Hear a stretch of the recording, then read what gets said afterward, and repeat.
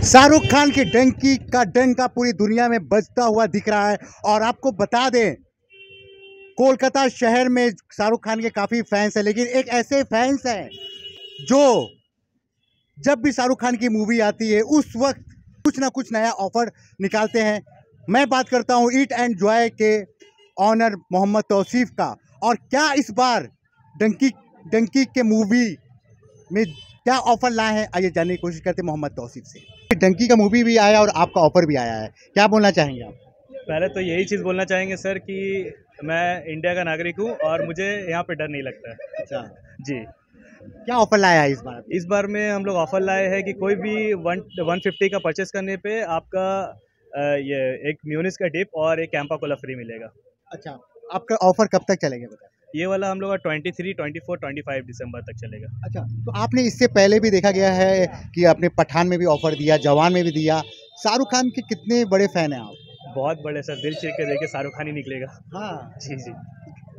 कब से आप शाहरुख खान की मूवी देखना शुरू किए हाँ? बहुत बचपन से ही हम उनका फ़िल्म देखते हुए आए हैं। अच्छा। वो उनका हर एक मूवी में कुछ ना कुछ तो मैसेज होता ही है। इस मूवी में बहुत अच्छा मैसेज उन्होंने दिया है। एक बहुत बड़ा सवाल है तीन मूवी बनी हुई है सबसे टफ सवाल। जवान पठान और डंकी।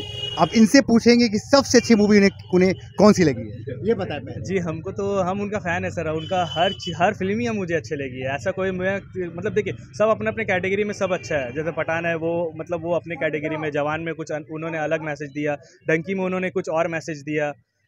लेकिन आपको अगर आपसे अगर पूछा जाए क्योंकि आप बहुत बड़े फ़ैन हैं तो दिल में हाथ रख के बोलिए।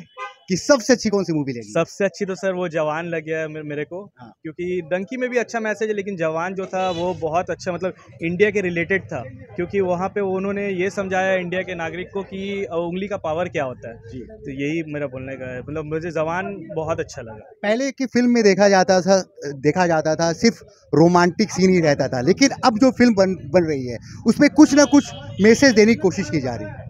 जी क्योंकि अभी जो देखिए अभी प्यार मोहब्बत तो होते रहता है वो अलग हो गया लेकिन अभी बहुत सारे यूथ है हमारे जो मतलब गुमराही में जा रहे हैं तो उसलिए मतलब ये मैसेज दिया जा रहा है कि वो लोग भी संभले अपने घर परिवार को देखे और अपने तरक्की करे और अपने देश को तरक्की होते हुए देखे। जी तो आप तो हमेशा देख, देखा जाता है हमेशा ऑफ़र निकाल रहे हैं तो आपका जो शॉप है ईट एंड जो है इस पर आप लोग क्या क्या रखते हैं जरा हमारे दर्शकों को बताया जो नहीं जानते। जी, हम लोग बर्गर रखते हैं, सैंडविच रखते हैं, क्रिस्पी फ्राइड चिकन रखते हैं विंग्स रखते हैं, नगेट्स रखते हैं, रैप रखते हैं। फिर उसके बाद में हमारा पिज़्ज़ा भी स्टार्ट हुआ है, चीज़ा भी स्टार्ट हुआ है। जी। ऐसे तो मैंने ना जवान देखा है, ना पठान देखा है और ना ही डंकी देखा है। लेकिन यहाँ मेरे जो भाई साहब हैं तो उनसे पूछते हैं कि इस डंकी के मूवी में क्या मैसेज देने की कोशिश की गई है? ज़रा बताएँ। जी ये इस, इस मूवी में ये देखा गया है कि मतलब बताया गया है कि हमारा जो देश है उसमें तो पहला बार डर नहीं लगता जो मैंने पहले भी कह चुका हूँ। और इसमें ये मैसेज दिया गया है कि हम लोग इंडिया के इंडिया में हम लोग खुद कमा सकते हैं हम लोग को बाहर जाने की ज़रूरत नहीं है मेरे ख्याल से मेरा भी ये मानना है क्योंकि मेरी भी मम्मी बोलती थी कि पढ़ो लिखो उसके बाद में चल जाओ बाहर। लेकिन ऐसा नहीं होता है यहाँ पे आप यहीं पे रहिएगा तो एक चीज़ अच्छा है कि आपका कोई भी इमरजेंसीज में आप उसको टैकल कर पाएँगे। वो बहुत ऐसा चीज़ सिचुएशन ऐसा आएगा कि कोई का घर पे तबीयत ख़राब है तो एक होना ज़रूरी होता है मतलब उनका प्रेजेंट रहना ज़रूरी होता है। तो यही बोलूँगा कि यहीं पे कमाने की कोशिश करिए और सबको लेके साथ में चलिए।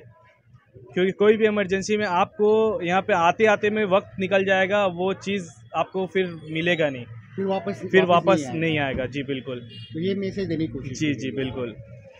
तो यहाँ पर कह रहे हैं कि काफ़ी अच्छी अच्छा मैसेज देने की कोशिश की, गई है। लेकिन जो बिज़नेस नहीं कर सकते और जो बाहर जाना चाहते हैं वहाँ दो पैसा अर्न करना चाहते हैं तो उसके लिए सर यही बोलना चाहेंगे यहाँ पे कम पैसा ज़रूर है। देखिए वहाँ पे भी काम यहाँ पर से तो बोल के लेके जाता है कि ये काम है, ये काम है, जो भी काम बोल के लेके जाता है, लेकिन पर्टिकुलर बहुत ऐसा केसेस में देखा गया है कि पर्टिकुलर वो चीज़ के लिए नहीं, वहाँ पे कुछ और की चीज़ के लिए लेके गया पर्टिकुलर चीज़ बता के लेके गया है, और वहाँ पे कुछ और करवा रहा है उनसे। तो उससे अच्छा है कि यहाँ पे थोड़ा पैसा मिल रहा है तो यहीं पे कुछ मतलब यहाँ तो है, इज़्ज़त का रोटी आराम से खा सकते हैं, और अपने घर वालों के साथ में कम से कम रात का नींद पूरा कर सकते हैं, रात का खाना एक साथ में तो खा सकते हैं, यहाँ दूर रह के दो पैसा, मान रहे कि पैसा बड़ा होता आज के ज़माने में, लेकिन रिलेशन भी बड़ा होता है मेरे ख्याल से।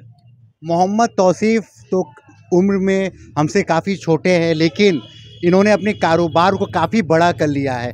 करीबन दो ब्रांच आपने खोल लिया है। बिल्कुल। थर्ड का मतलब इन प्रोसेस में। ये तीसरे भी ब्रांच करने वाले हैं और अल्हम्दुलिल्लाह आपके कितने भाई हैं टोटल अकेले सर। ये अकेले होकर इन्होंने दो ब्रांच खोल लिया और तीसरे का भी प्लानिंग चल रहा है। तो जो यूथ है और जो सोचते हैं हम कुछ नहीं कर पाएँगे उनको आप क्या मैसेज देना चाहेंगे? यही बताना चाहेंगे सर उतना सोचिए मत मेहनत करिए आप जो मतलब सोच लीजिएगा वो आप कर लीजिएगा। ऐसा कुछ नहीं है कि आप नहीं कर पाइएगा थोड़ा टाइम लगेगा रिज़ल्ट आने में थोड़ा टाइम लगता है लेकिन आप थोड़ा सा वेट करिए इंशाल्लाह अच्छा ही होगा। जो भी लिखा हुआ अल्लाह ताला जो भी लिखे हैं आपके लिए अच्छा ही लिखे होंगे। इतिहास रचेंगे। बिल्कुल इतिहास रचेंगे वो।